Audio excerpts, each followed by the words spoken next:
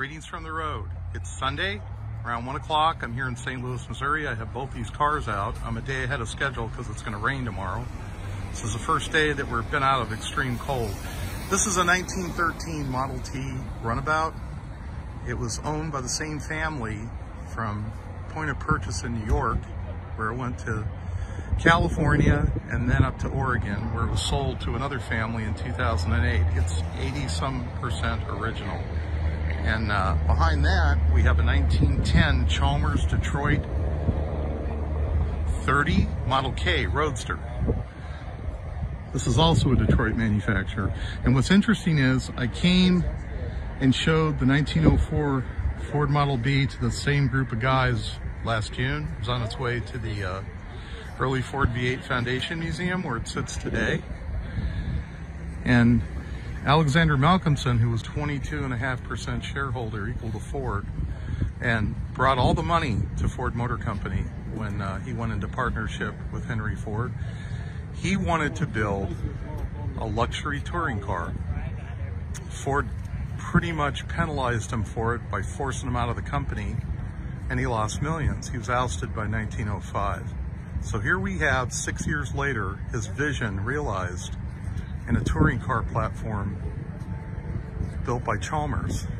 This car sold for $1,500 back in 1910. It was the second year for this model, and that was equivalent to $45,000 back in the day. Keep in mind, this is $500 cheaper than the 1904 Ford Model B, which sold for $2,000, which was worth 60,000 back then. We have some information here about the company. He had already sold 800 cars of this model as of that advertisement. This car is like light years ahead in terms of technology and design. But the lesson for me that I realized is I've been taking these cars, I started out last Thursday, 10 days ago, nine days ago, California.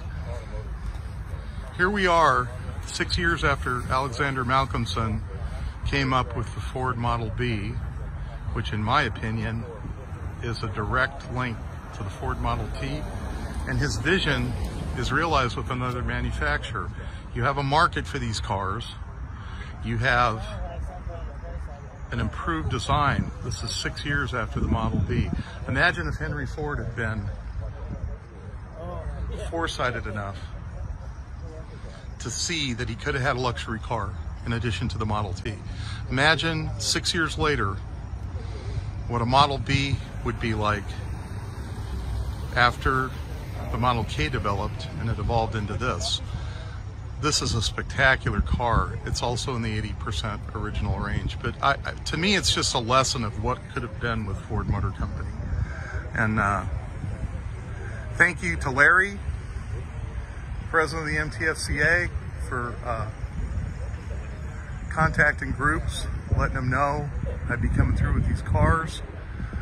This is an example of where you bring a museum to people. Get people excited. Since we're in Sam's Club, we've had a lot of people stop by and look at these cars, ask questions. These guys are starting to look at the 1913, which is I want what I wanted them to do, find out how original it actually is. I'm gonna pack this up. It's gonna rain here tomorrow. I have to beat it over to Richmond because it's gonna snow on Monday. And I'm gonna drop off this Model T and it'll be on display in the museum cars are best serving the public when they're interacting with the public. And sometimes that's not always in a museum. Sometimes it's in a Sam's Club parking lot. So they're reading the book now about the car that came with it. Again, this is an educational opportunity and it's also an opportunity to bring these cars in exposure with the general public.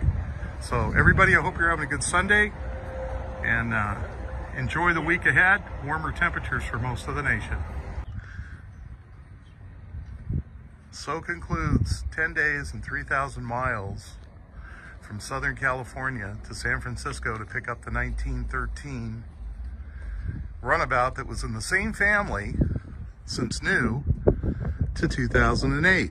And now it's at the museum. All the stuff you see on the blankets, all that stuff there, that all came with the car.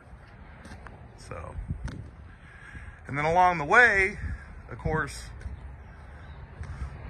the 1910 Chalmers Detroit 30 Model K, which is continuing and going up to the Gilmore.